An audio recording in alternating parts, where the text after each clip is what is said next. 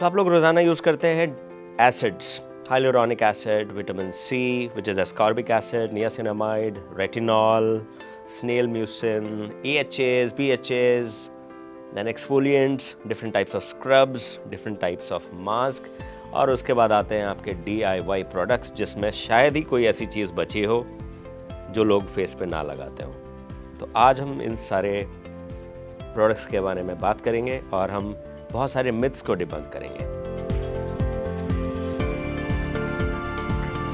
तो अभी बात करेंगे नियासिनामाइड और विटामिन सी सीरम्स के बारे में। ये दोनों बहुत ही पावरफुल प्रोडक्ट्स हैं। नियासिनामाइड विटामिन बी थ्री आपने सुना होगा विटामिन बी थ्री के बारे में। विटामिन बी कॉम्प्लेक्स का पार्ट है।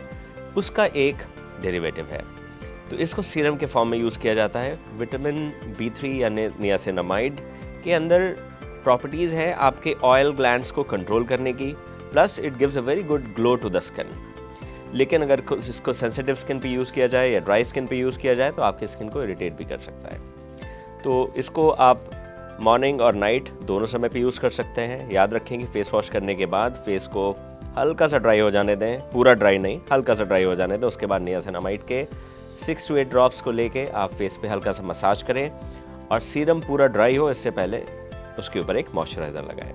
Always remember you need to lock the serums in the same manner vitamin C को भी हम यूज़ करते हैं। विटामिन सी का प्रेफर्ड टाइम ऑफ़ एप्लीकेशन है डे हालाँकि इसको आप दिन या रात कभी भी यूज़ कर सकते हैं, लेकिन अगर आप इसको दिन में यूज़ करें it is also a wonderful antioxidant and it gives you good protection from sun induced damage ये बात बहुत कम लोग जानते हैं कि vitamin C sun damage skin को रिपेयर करने में हेल्प करती है। तो अगर आप इसको दिन के वक्त लगाते हैं।